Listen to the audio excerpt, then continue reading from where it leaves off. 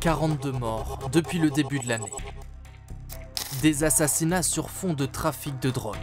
Marseille, deuxième ville de France, est en proie à une guerre sanglante entre deux gangs. En plein jour, une fusillade.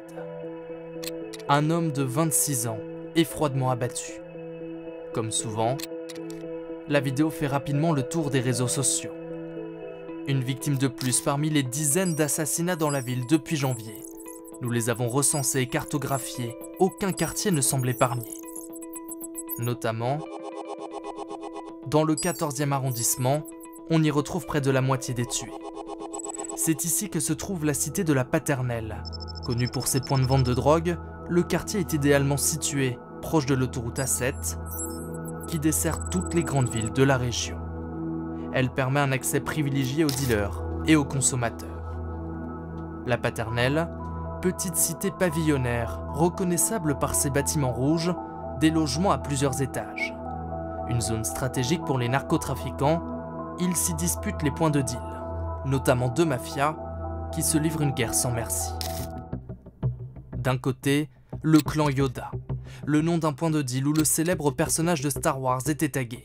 Il est devenu l'emblème du gang, comme on peut le voir sur cette image, en train de fumer du cannabis. Il est présent sur de nombreux murs pour marquer le territoire.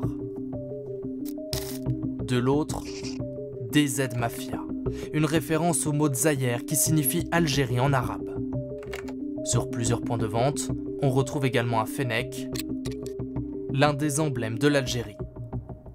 À la tête supposée de ces réseaux, deux hommes.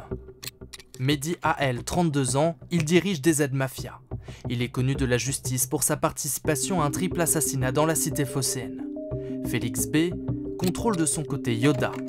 Il a été condamné en 2019 pour association de malfaiteurs et détention d'armes.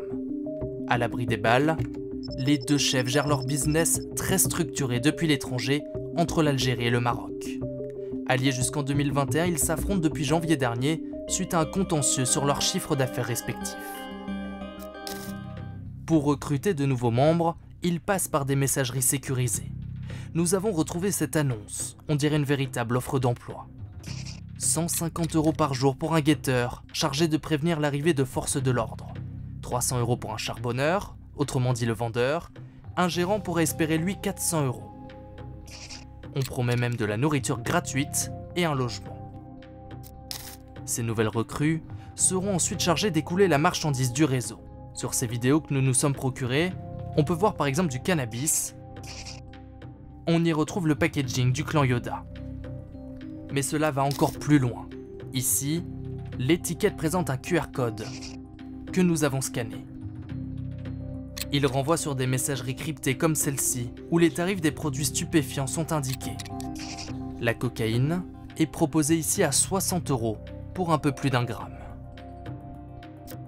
Pour protéger leur business et régner sur le marché, les dealers sont prêts à tout, y compris à éliminer leurs rivaux.